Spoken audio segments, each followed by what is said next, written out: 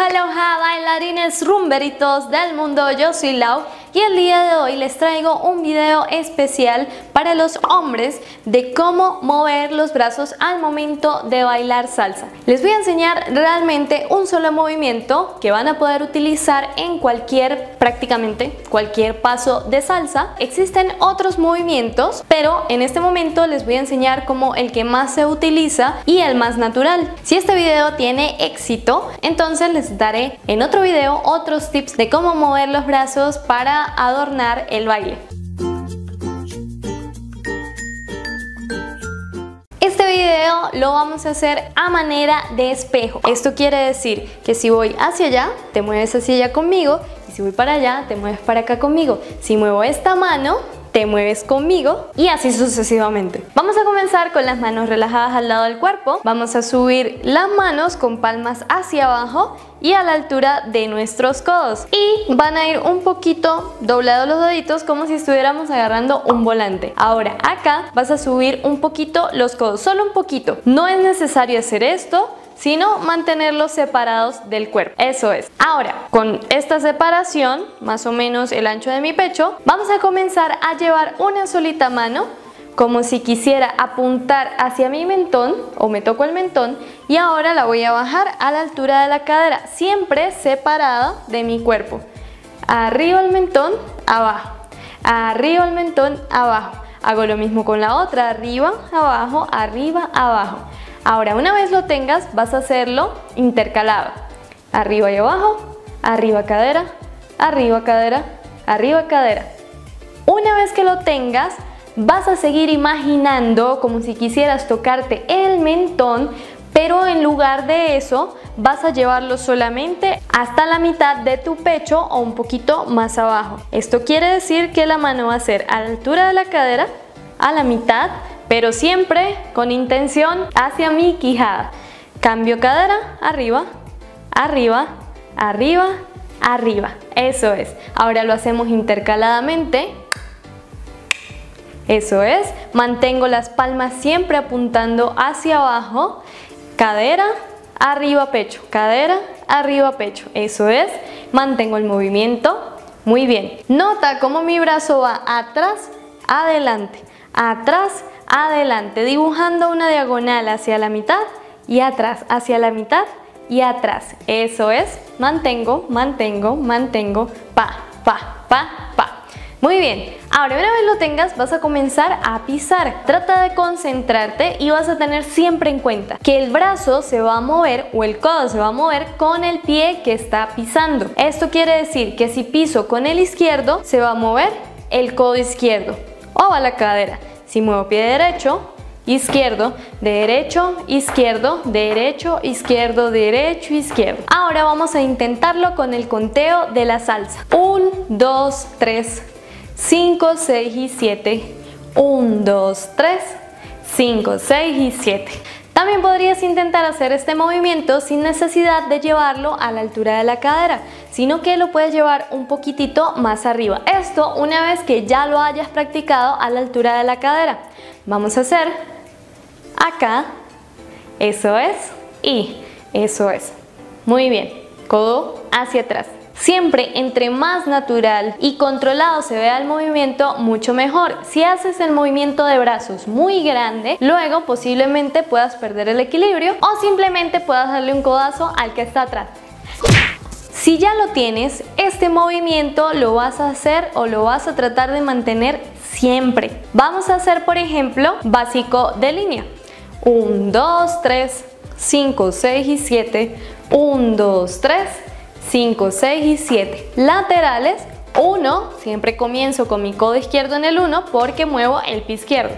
1, 2, 3, 5, 6 y 7. 1, 2, 3, 5, 6 y 7. Recuerda mantener los codos siempre un poquito separados de tu cuerpo. Si quieres dejarlo hasta ahí, hacer solo ese movimiento para cualquier paso de salsa, puedes hacerlo porque es suficiente. Pero si quieres agregarle un poquito más, vamos a intentar con el movimiento de hombros. Esto lo vas a practicar de esta manera. Separa tus piernas, vamos a comenzar a llevar hombro izquierdo adelante, derecho adelante, izquierdo, derecho izquierdo, derecho. Enfócate en solamente mover los hombros.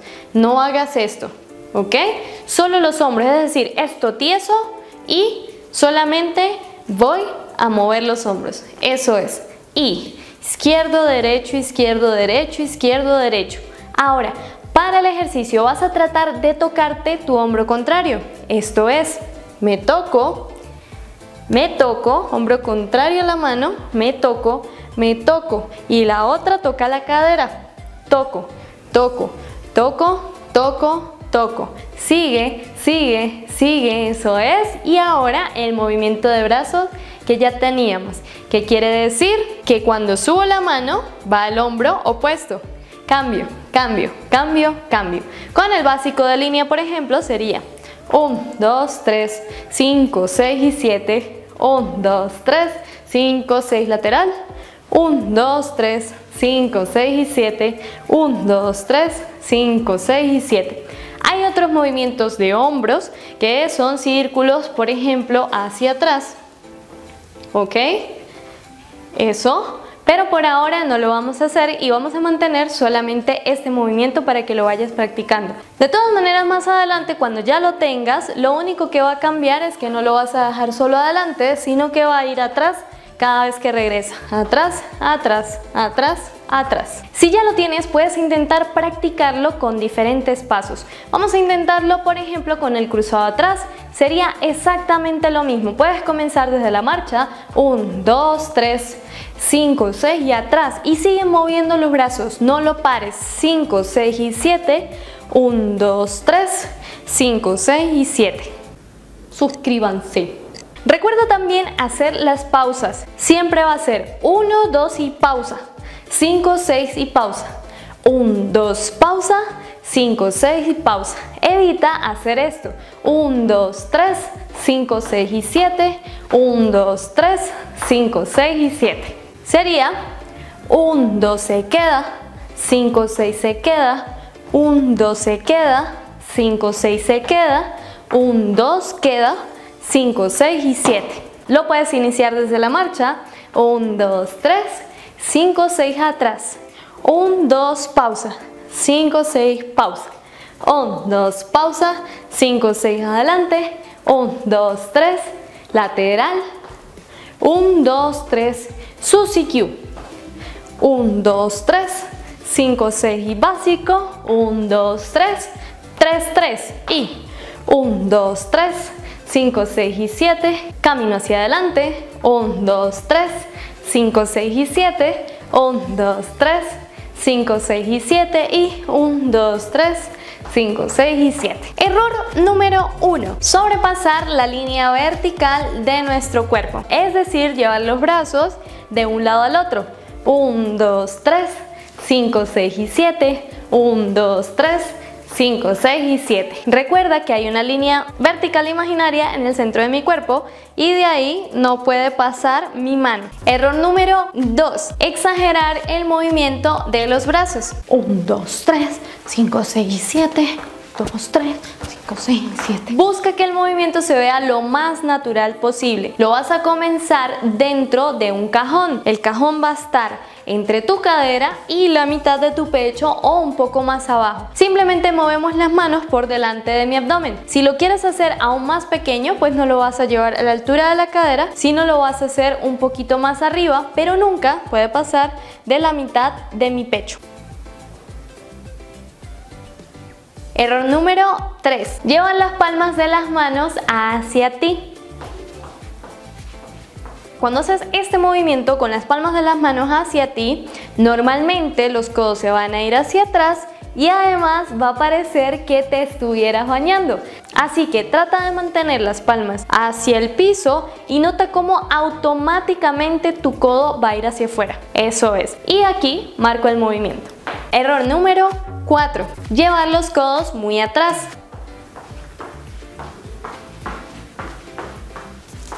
Recuerda que los codos buscan mantenerse siempre separados del cuerpo. Si mantienes las palmas hacia abajo, va a ser mucho más sencillo que tus codos vayan afuera sin hacer fuerza hacia atrás. Error número 5. Tener los codos muy afuera. Recuerda que el codo apunta hacia atrás y además esto te ayuda a tener buena postura. Error número 6. Tener los codos muy arriba.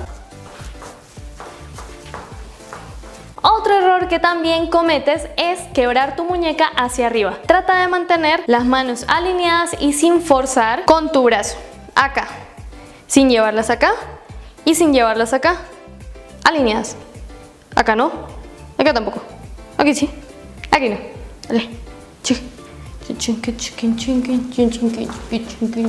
Y bueno, rumberitos, esto ha sido todo por el día de hoy. Espero que el video les haya gustado muchísimo. Si les gustó, compártanlo con sus amigos que estoy segurísima que necesitan esta clase urgente. Síganme en mis redes sociales en Instagram y en Facebook como Laudance. Si quisieras que tuviéramos una segunda parte de este video, házmelo saber en los comentarios de acá abajito. ¡Chao!